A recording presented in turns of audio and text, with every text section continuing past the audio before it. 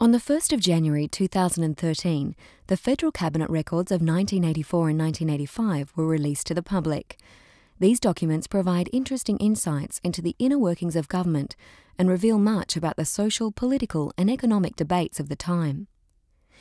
Historian Dr. Jim Stokes told journalists about those records in a special embargoed media briefing in early December 2012. Former Senator Susan Ryan also spoke to the press. The early 1980s was a time of significant change for Australia. 1984 to 85 saw the first ever televised election debate and federal budget release. The $1 coin was introduced, and Melbourne celebrated its 150th anniversary. Advance Australia Fair was announced as Australia's official national anthem, and green and gold selected as our national colours. In 1984, Australia's Prime Minister Bob Hawke was enjoying immense popularity, with a 70% public approval rating, as the new government set about tackling major issues in a way that sought to achieve community consensus.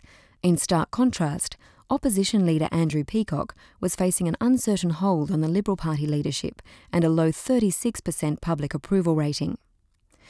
The 1983 election, which had brought Hawke to power, was a double dissolution of both Houses of Parliament requiring another election no later than the first half of 1985. Hawke once again had a comfortable victory at the election held on the 1st of December 1984. On the 5th of September 1985, the long running tensions between Andrew Peacock and John Howard came to a head when Peacock resigned the Liberal Party leadership and Howard replaced him. I naturally um, assume uh, this job in slightly unexpected circumstances. Uh, Nonetheless, uh, I assume it with enormous uh, enthusiasm.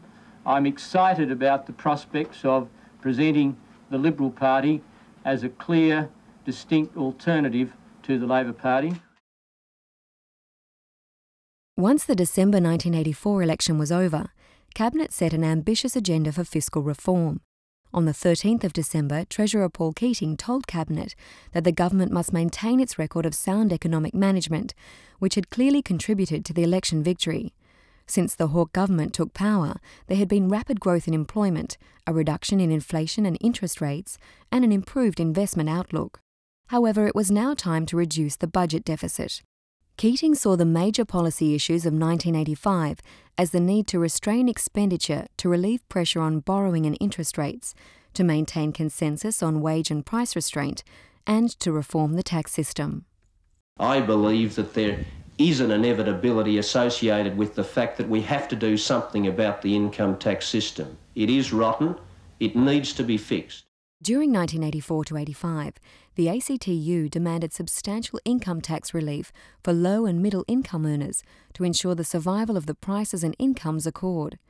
Cabinet considered a range of options for reducing personal income tax. However, there was no easy way of achieving this. Inflation had resulted in taxpayers who received only average weekly earnings paying a marginal tax rate of 46 cents in the dollar. 44% of taxpayers were in the lower or middle income groups, so that even a modest reduction in their tax obligation would result in a substantial loss of revenue. This loss could not be recouped from high income earners because there were not enough of them.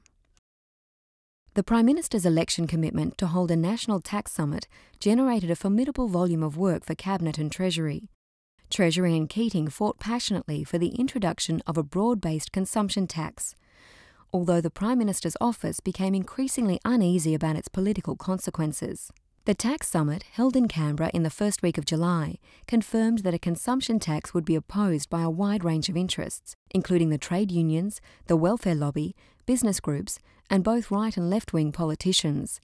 Cabinet formally buried the consumption tax on the 12th of August 1985, noting Treasury advice that revenue from a tax on services and a major extension of wholesale sales taxes would be insufficient to fund compensation for low income earners and to make a satisfactory contribution to cuts in income tax. Keating unveiled the final tax package in the House of Representatives on the 19th of September.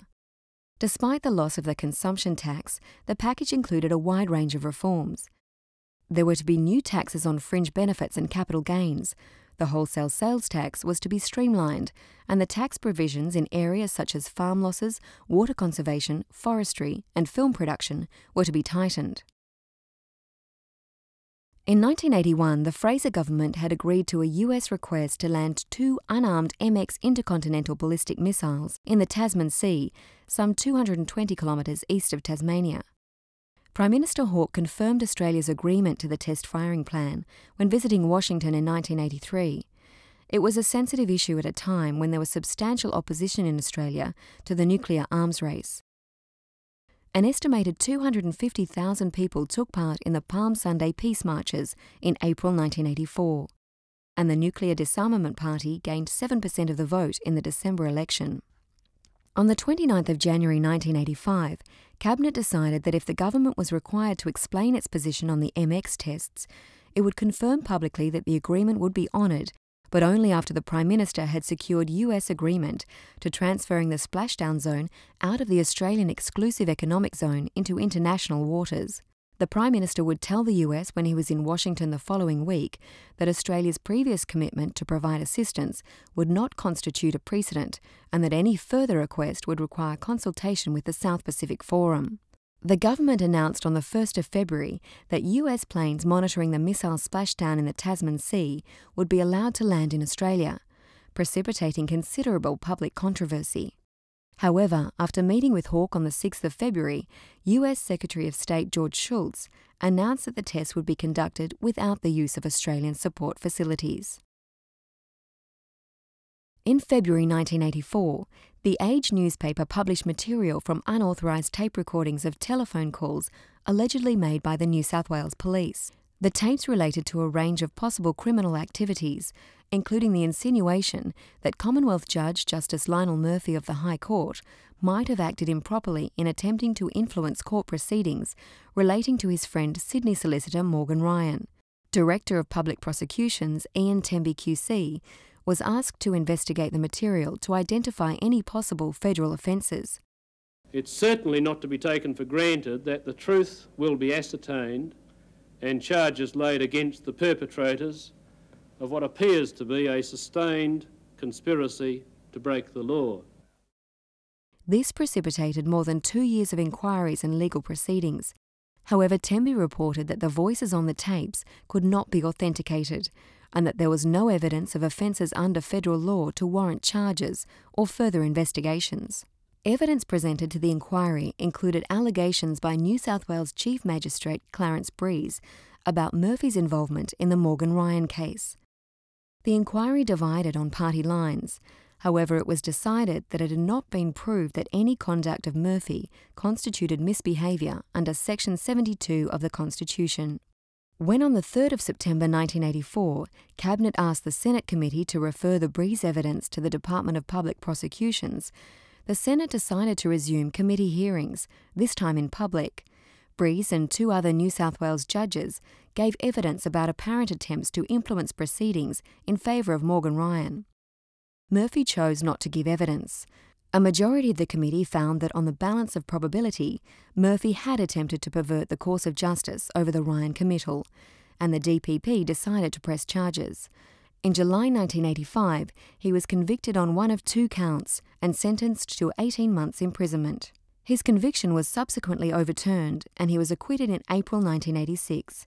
However, by this time he was suffering from inoperable cancer and was unable to return to the High Court.